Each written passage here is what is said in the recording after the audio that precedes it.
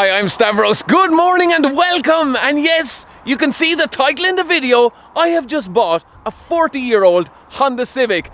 So let's do the big reveal. Let's swing over and yes, this is it. It's a 1.3 litre, 5 speed, uh, around 69 horsepower. Not very powerful. so I'll be showing you a full look around my 40 year old Honda Civic and then we'll be going inside the showroom having a look at some more cars and then I have an update on a truck to show you guys in this video. So stick around for that. Anyway, let me show you around. Okay, taking a look around my 1980 Honda Civic. A real classic, guys. What do you think, eh? anyway, we'll see how it goes. But it's in pretty good condition. I mean, it's not exactly concours or pristine condition, but it's a good start if you're doing up a Honda Civic. Uh, this would be a good one to start with.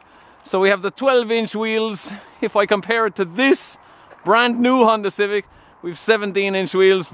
That badge will definitely be taken off because they were not stuck on there from new. Five door example in from Malta. So yeah, it's in pretty good condition. Let me just bend down and give you a look underneath just to give you an idea of the condition. Yeah, I had a good look underneath. It's pretty good now as regards rust it's a very good example. Not too bad. So let me just open up the boot first. And it is a five speed. So yeah, this is a second generation Honda Civic. And the first generation only had a four speed gearbox. So yeah, the rust is uh, pretty much non-existent in here. Maybe just a tiny little bit of staining underneath the spare wheel.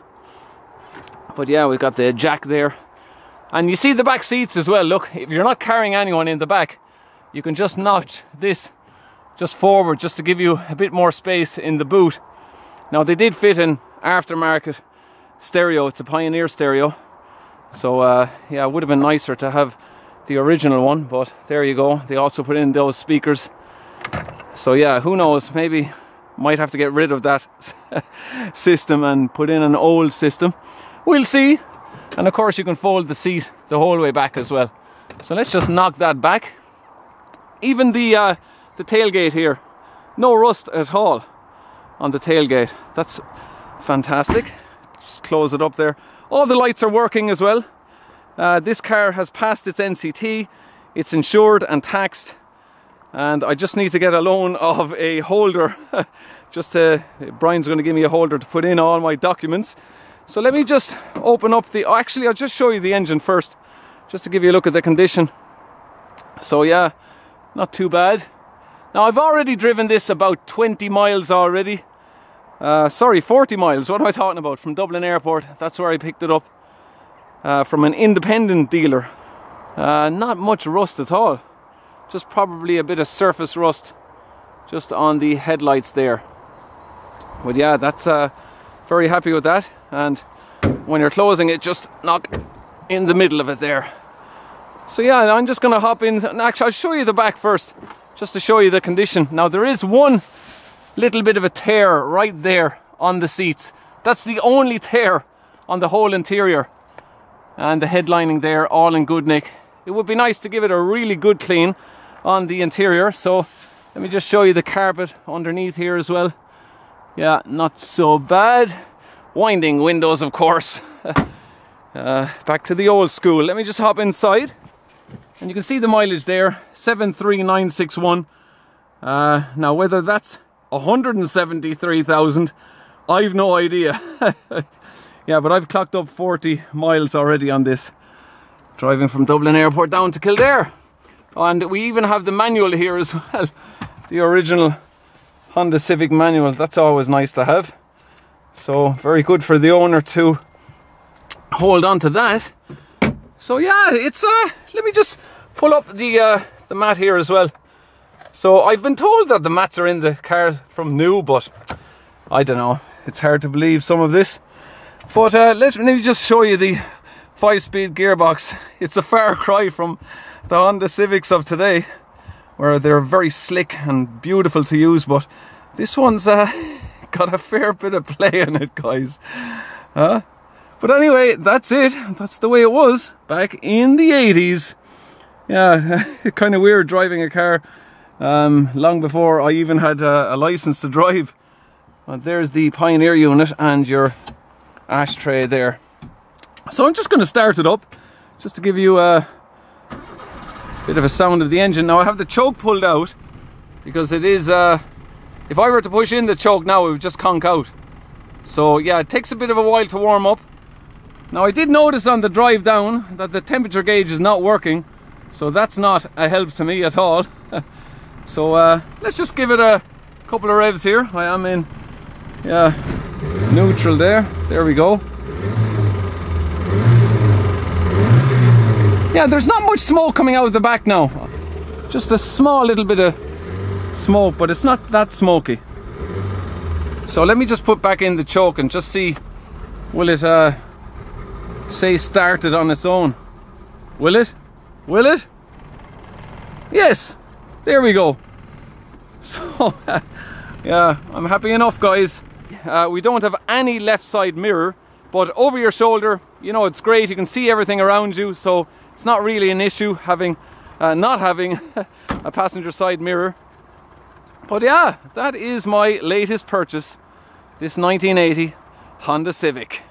Okay, so I'm joined now by Brian from Fitzpatrick Garages here in Kildare. Brian, how are you get on? Good to see you. Thank you very much for having me here today. So Brian's just going to be showing us around the Civic, the new one. We've got a 1.5 turbo outside here, and you also have the one with the nine-speed gearbox. Nine-speed diesel, and you yeah. know that turbo car fairly well as well already. You yes. might be familiar with that type of vehicle. Yes, I have one myself. exactly, yeah, savage car. But guys, we're going to hop inside and just go down through all the interior features just to show you how the Civic has evolved. Okay, Brian, we're sitting in the 1.5 turbo. This is the hatchback. So yeah, so Brian, what is standard on the Civic now? You have the safety suite, Honda Sensing. Yeah. Um, what is standard? How long have you got, Stav? How long have you got? that is the thing here. So yeah, right. they're great for the standard equipment now, the Civic. Yeah. Um, yeah. A lot of people, what they used to say was they'd come in and they'd ask about golf, or they'd ask about Civic, and then they'd talk about golfs and focuses. If you literally get a sheet of paper and write down everything that's standard on the car, it's actually brilliant value for money. But even okay, small things, big screen in the center. Everyone likes a big screen these days. The first thing is you got a big camera there, and then you got sensors front and rear, and you know there's different functions on the on the reverse camera. After that, then up through here, navigation, which is Garmin. But to be fair, these days most people are going to use Apple CarPlay and Android yes. Auto and that kind of stuff, and that's where you're getting into the car saying Google, where is the closest airport, where is the closest you know petrol station, wherever it is. Yeah. It's so cool.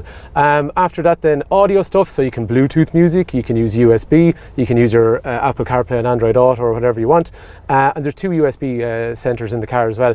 General settings overall, but even everything is adjustable using the screen. So that's how people think these days. Yeah. They think using screens. Um, so after that, then moving down through here, electronic handbrake. Some people fear them. You had a normal handbrake in your old car. I yes. know you drive the trucks and stuff, so you're probably well used to this. They're simple, aren't they? And yeah, you do get into the habit. Yeah. Uh, after that, then economy function, which is going to reduce. This is all standard stuff, by the way. Mm. It reduces how aggressive the cruise control is, how aggressive the air conditioner yeah. is. Moving over here, automatic headlights they dip when they meet traffic. They come on at night time. They do it all themselves. The wipers on a day like today, they work themselves too. What's cool in here is the way the trip information works, right? Now, I am an idiot, so I love the fact that I can see how much boost pressure the oh, car is running. Okay. So when you floor the car, you can see what the boost is at. But for a lot of people, they want to know about fuel. And actually, the thing about them is, in fairness on fuel, most people in a car like this with 180 horsepower, they'll average about kind of 45 miles per gallon, something like that. Yeah. All everything, by the way, is standard that we're talking about on a 1.5 Civic. Over here, the safety stuff. Okay, so your cruise control. Okay, lots of cars have cruise control, yeah. but it follows the car in front. You can have a lane keep, which keeps you within the lanes. The speed limiter will read the speed signs, and then it'll actually limit your speed varying on the last speed sign that it saw. Yeah. So uh, I presume yeah. yours is, is, is, an attempt or it's a guess as to where. I don't know, I'm I know, no, it's fine. You yeah. could find the gear. Yeah, yeah, yeah. But no, it is. But everyone says on these, and anyone that reads the independent reviews, everyone says they're a sweet gearbox because they actually are really good at making nice gearboxes. Mm. And we also have the white one beside us, Brian. That is the one with the nine-speed gearbox. Yeah, so a diesel car, yeah. identical inside, but down through here. So we have six uh, six-speed gearbox we talked about. The other car buttons: park, reverse, neutral, drive. Nine-speed gearbox. So the manual one, six-speed box. The nine-speed gets up through the uh, rev, or, well, it, it goes from zero to 100 a lot quicker than the manual version. Mm. It can change gears more efficiently and quicker than a manual, and it makes it more fun to drive. Yeah. Uh, the nine speed, though, to be fair, they are mechanical nine gears in Oh, the diesel, yeah. so it is pretty Okay. cool. Uh, you need to be doing about 400 mile an hour to get into ninth gear. Right. But, uh, but I think it'll sit around seventh or eighth on a motorway. You know, Ah, that sort okay. of way. Autobahn stuff maybe ninth, but not in Ireland. Uh, but they are, look, I love these cars. This is generation 10. Your car is 1980. Second gen. Uh, exactly. So you got a Gen 10 and you got a second gen as well yourself. Mm. So you'll see there's been such an evolution, but like it's been such a popular car over the years. I, you probably did the same. We grew up with these kind of cars. Yeah. These were the cool cars. And what I like about these 1.5s, like what you have, they're like what the VTIs were years ago. Something slightly different, quick, easy to run, looks a little bit different, but it's not in your face. yeah. You know that sort of way. So that's that's.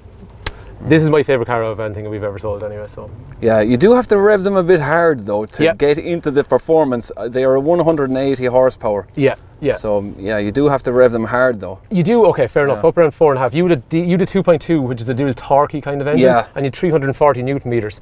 This is mm. two forty newton meters, so it's a lot less torque. Yeah. But you have higher rev range. You're right, yeah. You need to go up around four and a half, five. But then again, you know, is that a bad thing sometimes? so that's the way I'd look at it. Okay, so we're going to leave the Civics. Nine-speed gearbox, as Brian said, 1.5 turbo, nine-speed diesel. So, okay, Brian, let's walk through Let's the showroom real quick. On a day like today, this is quite useful. It's an umbrella, right? I know. Over there, Jazz, right? Oh, yeah. New model this year, new model hybrid only. After that, then CRV, right? Yeah. This is true. World's best-selling SUV. World's, best. World's best-selling SUV. Bar none, bar none. The CRV. CRV, two litre hybrid, lots of different models on them, and they're only getting going because they're only out about a year, and you know you get the, the word in the street with people. Yeah, HRV over here, people really like them. If you had an SUV that's high off the ground but it's not big and bulky, that's the one. And we actually sell a lot of automatics of those. Yeah. Uh, and then the Civics we talked about, sedan, hatchback, and they are going to be still 1.6 diesel, 1 litre petrol, and 1.5 petrol. So it means, and do you know what, right? Saloon cars. There's a lot of saloon cars that are disappearing out of the market. We still have something, and it's diesel. And Yeah. a lot of people still need a diesel saloon car. Um, let's go up and have a look at the, Yeah. the Hyundai stuff as well. So this is the Honda area, obviously. Um, and then after that, this garage is here 70 years. 70 years.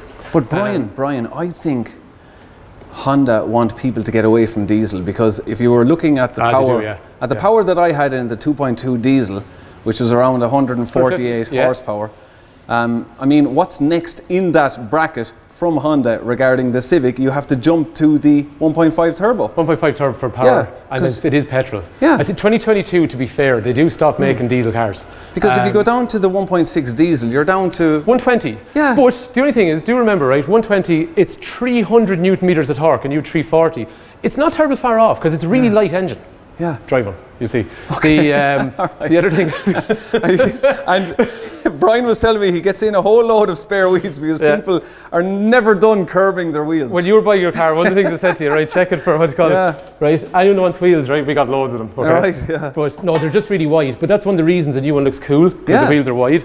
But so 1,000 euro wheels and tyres for them. wheels and tires. Yeah. Wheels and tires. I think it's good old value. And actually, they'll fit the model that you had if you All want. So you can upgrade the old models. so they look really cool. Yeah. Ioniq EV. Yeah. Um, so fully electric, 38 kilowatt battery, 320 range realistically, right? By the time you put on the heat and all that stuff, Mm. 270-ish is where you're going to be with it. Cool looking car. That's a premium, so it's got the big 10-inch screen in the centre. So it's quite cool looking actually. Yeah. Um, and then you've got the Kona, which I'll show you in a sec, which is the big. Kona is really cool. 64 kilowatt battery. That's only 200 horsepower. It's a really nice car actually in how it accelerates. And I know that's not why people buy them, but Right, let's have a look. it is cool. All right, so moving down into where you had Honda down below, and then you've got a transition here. The next one, Tucson. Yeah. Three years in a row 16, 17, 18, the best selling car in Ireland. Still the best selling SUV in Ireland as well. Is it? Ah, yeah, like, see, loads of people like them because they do everything for everyone. They're high off the ground, they look nice, they've got a long warranty, they're reliable, there's good specs. So it kind of, it's a bit of one of those things that does everything for everyone. And that's why I was saying to you, the saloon car is disappearing a bit because people are buying that kind of stuff as well. It's a good looking car. Uh, even a car like that, standard with 19 inch wheels, so it looks really cool. This one here is i20. Uh, i20 new model coming actually in about three months' time. Um, but they sold really, really well for us. Um, again, long warranty, reasonable kind of payments per month, and they did good scrappage deals on them as well. All right. Um, Kona, Kona co- four fuel types, so four fuel types overall. Um, so petrol, diesel, and there's hybrid, and there's electric. iX20 over here, not a pretty car, but a really functional car. Um, the driver's seat in them, genuinely sitting on them. So the rest of it is very functional and practical of how it works. But the driver's seat is savage in those. It, I don't know why. It's whatever way they've managed to make it. It's just a really comfortable seat to sit in. Very good. And again, as I said to you, not a pretty car, but really, really practical. Yeah. Um, and after that, then i10, a real chic looking kind of car. Um, We did a lot of them on scrappage deals over the years. Again, very low finance payments, and now you're seeing people moving from those into the newer ones, so they're continuing on with i10 because they were happy with them. It's a good looking car. Like you're starting off around 14, 15 grand. So why would you buy a second-hand car if you're looking for a small car? Like yeah. And finishing off with the Kona. EV. Yeah. Right. I want you to drive one of them. I, you've probably done a bit with the keys. I didn't have- yeah, I did 64 one kilowatt. already, yeah. Yeah, like Yeah. unbelievable power. And that's not why you buy one. But okay, really, right? People are actually getting 400 kilometers range out of the charge. So a nine-hour charge from your house, but um, there is people that are doing 200 kilometers a day. So they're charging the car every second or third day. Yeah. Um, but it's a really nice car to drive. And it's nice to buy into that kind of electric, uh, uh, I suppose, green agenda. But as I was saying to you overall, we have every fuel type here. So you can actually make a really informed decision. At 400 range, they quote 475, but we people doing 400. And that's people going up and down to Dublin on the motorway doing 120, 370, 380. So actually, no, it is, it is viable. And I'm confident to say it to people. So uh, good old car, they drive well. They drive well, so they do. But again, like I was saying to you, electric's not for everyone. That's why we still have every fuel type here anyway. So, uh, but that's it, I suppose. And it must be very confusing for people at the moment buying cars because they've been told so many things and, oh, you know, buy electric and buy this. I get literally, and most lads should be doing it. You get every fuel type, you write down your cost of running, and then you calculate it out. And after that, there's more to it, like what you say. You have to like what you're buying as well. So, Yeah. Okay, guys, it's time for me to leave Fitzpatrick's garages here in Kildare. Brian, thank you very much. thanks a minute for coming in. Yeah. Sorry, I know I do go on a bit, but uh, appreciate your time for anyone wa- watching. So we just have the red one here parked beside my 40 year old. I really have to hit the road. We need to go down to DPS Communications to look at a truck that's had its cameras fitted, phone fitted, and an inverter. We need to do that right now. Let's hit the road. Thanks, Brian. Let's go. Come on, am I, in, am I even in first gear? Yeah, I'm in first. Okay. Mind the coffee. That's priority number one. No cup holders. We just have this shelf for a cup holder. So uh, yeah, nice and easy. So yeah, I've now clocked up, what have I clocked up? 47 miles in my 40 year old Civic. Okay. 1.3 litre. Come on. 69 horses. Come on. Fifth gear. Very close to my knee. and we're up to 50 miles an hour on the motorway. Come on. okay, 55. And 60. 60. There we go, guys. Yeah, so, okay. Uh, now, comparing it to my own Civic, uh, guys, I mean, come on, there's no comparison. No comparison. the two cars are on two different planets. But, I mean, for its time, it was a very good car. This second generation Civic. Uh, the wipers are very noisy. Very noisy. But it's driving away fine. Now I'm just going to push back in the choke. I just put a bit of petrol into it, just enough to get me to Ennis. Got myself a coffee there as well. But yeah, it's cruising away quite nicely. But the brakes, the brakes are not good, guys. Uh, I have to get them looked at. They're a bit spongy. Um, maybe I'm just too used to all the newer cars. When you hop into a car this old, they're just so you gotta press the pedal really hard. But yeah, I'm very happy with it. Uh, gear changes, well, you can find them. Five gears. Uh, yeah, so I'm gonna make my way down to Ennis. A lot of wind noise coming up around this corner. I don't know, is the door closing properly? But uh, yeah, it should be okay. And I just need to do the update on that truck I showed you some weeks ago, guys, yeah? With the cameras getting fitted and all that. So we're heading straight down to DPS I probably have another, I don't know, 90, 100 miles maybe, around that. So yeah, let's get down there and show you what this truck is like, all finished.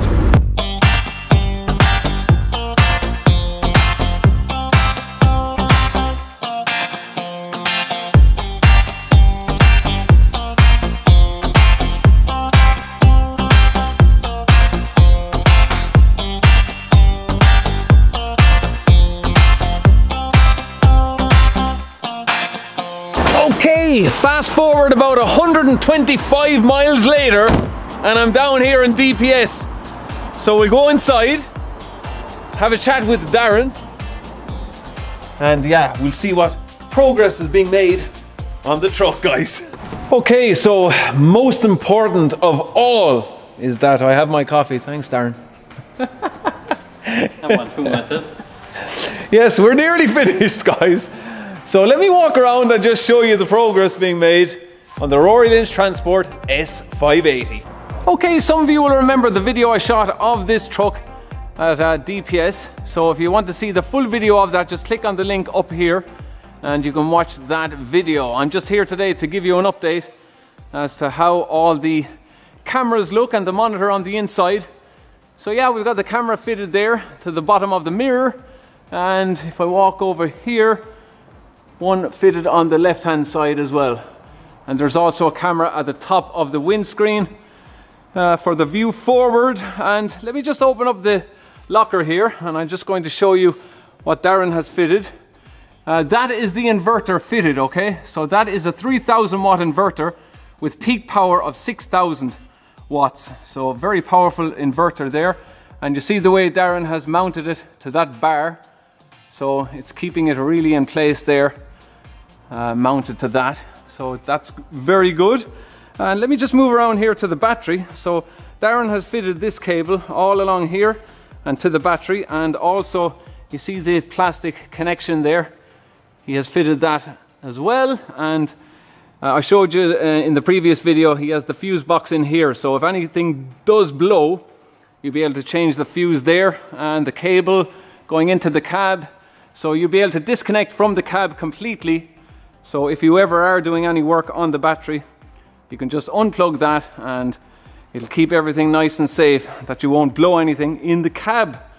And there at the back as well, we have the Scania Vabis badge from 1911 when the two companies merged and Rory Lynch Transport, 40 years in business in 2020.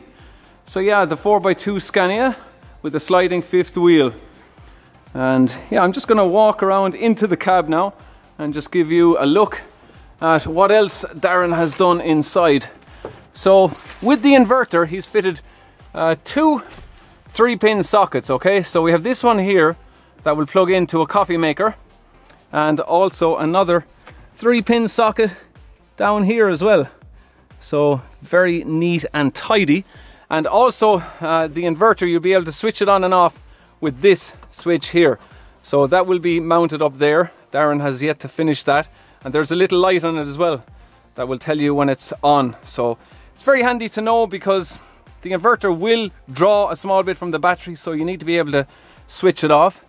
And let me just walk around here and sit into the driver's seat. So Darren has also fitted the phone very good. And I'm just going to turn on the ignition and we can see all the monitors here. Uh, tech vehicle. Okay, so we have the four different monitors monitoring, and if Darren just closes the door there, we'll be able to see that angle of that of that uh, monitor on the left-hand side. So, yeah, very good for keeping an eye on your blind spots. Now you see this monitor here, that's on the back of the cab. Just uh, your view to the fifth wheel. So that's fantastic. Really like that.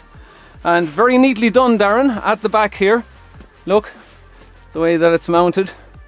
So that was nice and tidy, Darren. we, we do our best. okay, and if I switch the indicator to the left-hand side, you'll see there as well, we have the full view for the left-hand side monitor. So all very well done. Now, there's still some more cables to be tied up. Now, you'll remember the last time I showed you this, Darren had it all torn apart. The whole dashboard was torn apart. But uh, it's an awful lot of work to take on uh, anything to do with electronics, Darren. Sure is. yeah.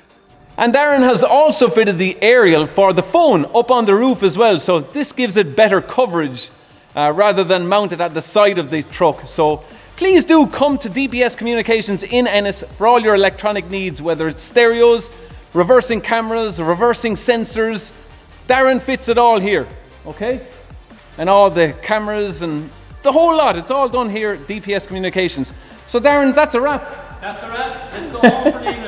Sounds that, Russ? Yeah, we, go, we, we, we gotta go, guys. We're done here today. I do hope you enjoyed the video looking at my 40 year old Honda Civic. Yes, um, let's see what, I, what plans I have for that for the future. So stay tuned for that one, guys. I'm gonna leave you all there. Thank you very much for watching, and I'll chat to you all again next weekend for another video. Take care, guys. Thanks. Cheers. It's time to drive down home in the. No, no, we're not going home yet. What the and yes, as the name suggests. Oh, God, here. Fitzpatrick's Garage, County Kildare. That's exactly it. No, not County, in Kildare. Yeah, well, it is County Kildare. Yeah, exactly.